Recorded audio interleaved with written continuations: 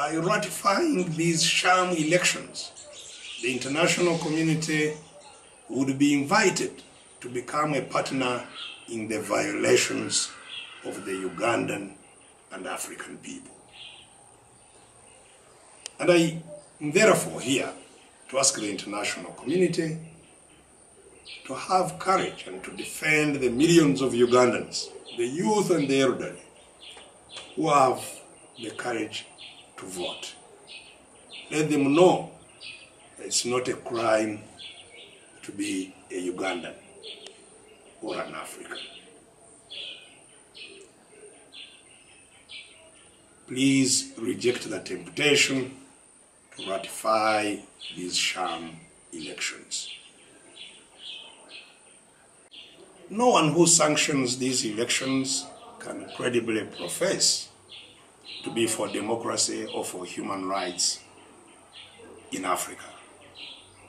I'm greatly heartened by the fact that the international observer missions of the African Union, the European Union, and the Commonwealth have all, in their preliminary reports, indicated that this exercise has not been free, fair, transparent, or credible.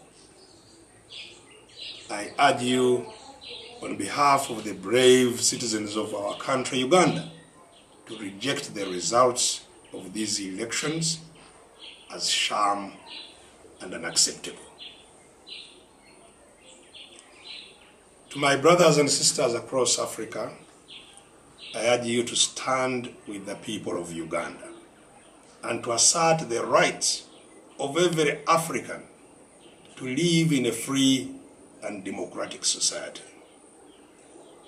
It is no longer enough to put in the East African Treaty or the African Union Constitutive Act that coming to power by unconstitutional means is unacceptable while neglecting the more critical and challenging area of people who stay in office using unconstitutional means in violation of their country's constitutions.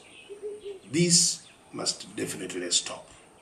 Citizens, my compatriots, I thank and salute your courage and thank you for the support that you gave my candidature, not just this time, but all the time, and for believing in democracy and peace.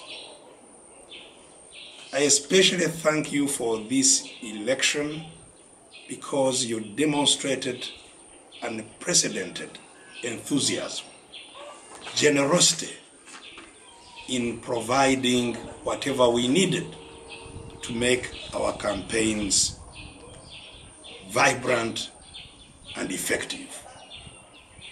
I thank you for the vigilance that you demonstrated throughout the campaigns and more especially during the voting period. Special thanks especially go to all members who enthusiastically embraced the Power 10 system that brings us together to defend our rights. Our Power 10 will remain active until our power is successfully delivered in our hands. This is our country.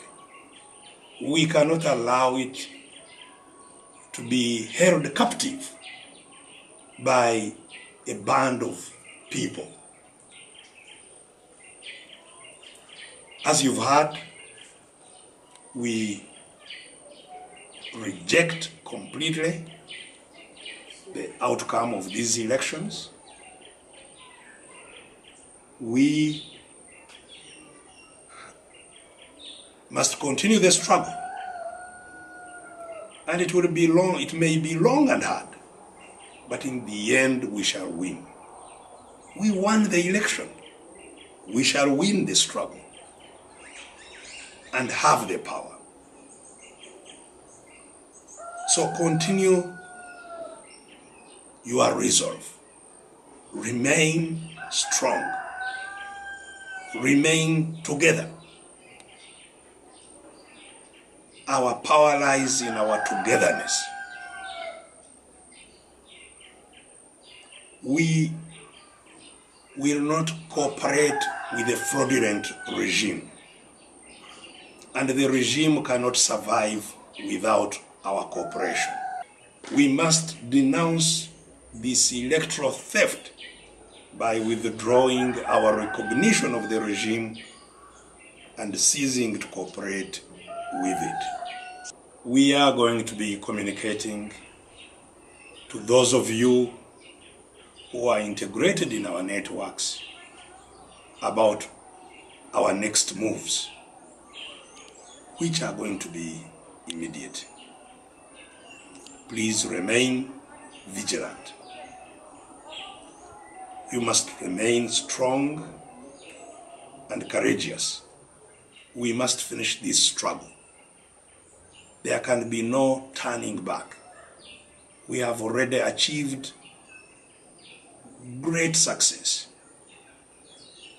The attempt by the regime and its allies to discourage you must fail.